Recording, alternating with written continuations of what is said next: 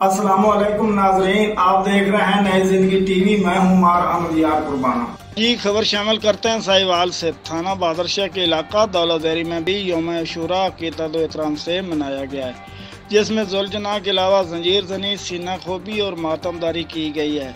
और दरिया रावी के किनारे खमे लगाकर वाक़ करबला पेश किया गया।